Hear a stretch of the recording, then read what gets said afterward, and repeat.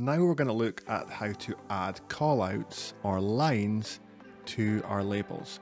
So in this case with the map of Brazil and some of its cities, I want to make sure there's lines drawn between the points and the labels, just because in this case it will help clarify things a little bit in some cases.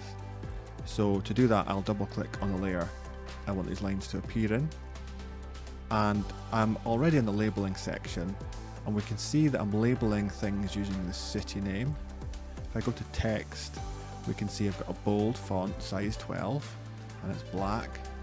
I've got a buffer so the text got, has got a white outline size 1 and if I go to callouts we can tick the box to draw callouts. In this case the style I'm going to choose is curved lines and then I'll click apply. Now callouts will be drawn but they'll be very small and we're going to change that. The one thing I do want to do is at the moment the call callouts, the lines go to the center of the points and that's a bit ugly for me. So I'm going to offset it from the feature. Let's try two millimeters and click apply.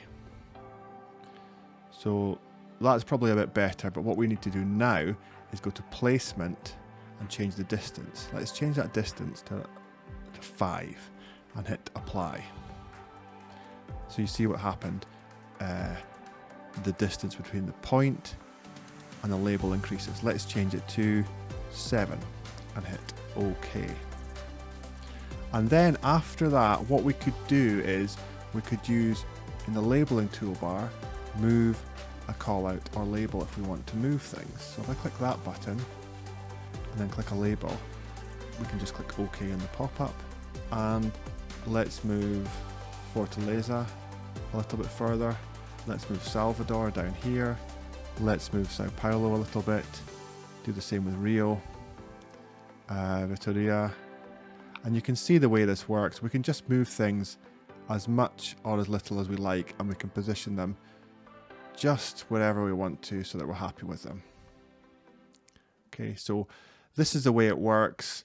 The key thing here really is just taking some time to position things in the way you want. But what I did and what I like to do is when I've positioned the callouts, by default the line will go to the center of the point. So I've done this thing called offset from feature. So if I change that back to zero and hit apply, you can see that the lines go all the way to the center of the point and I find that a bit ugly. So I'll change it back to two and hit apply. So that's how we can add some callouts in QGIS and then we can tailor things a bit more by using the move label button.